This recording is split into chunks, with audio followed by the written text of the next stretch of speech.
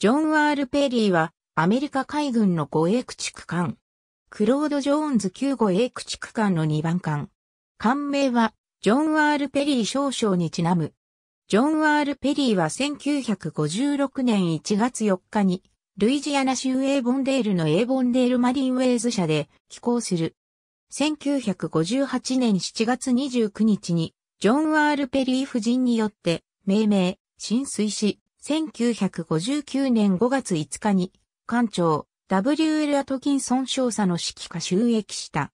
ジョン・ワール・ペリーは、北ヨーロッパ及び、スカンジナビア諸国への成長巡航を行い、続いて、キューバのグアンタナモ湾へ向かった。その後艦隊ソナー学校の訓練艦として、フロリダ州キーウェストを拠点として活動し、対潜水艦作戦のために、カリブ海の主要港を訪問した。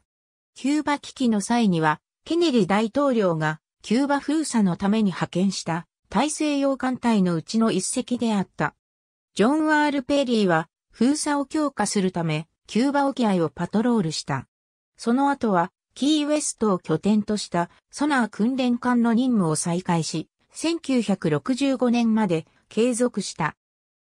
この主要な任務は、チャールストン海軍交渉でのオーバーホールやカリブ海での対戦水艦戦演習、アルファ任務部隊との東への展開、ベネズエラ海軍との共同演習で中断された。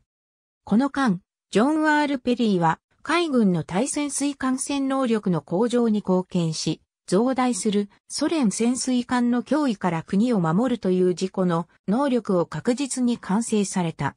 ジョン・ワール・ペリーは1966年5月1日に太平洋艦隊に転属となった。16日にキーウェストを出港し、3日後にパナマ運河を通過、6月4日に真珠湾に到着し、1967年半ばまでハワイ海域で活動した。ジョン・ワール・ペリーは1970年代初めに退役した。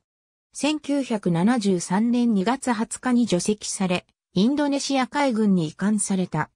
インドネシアでは、サマディ君と改名して活動。1982年には、看板号がでマイナス341に変更された。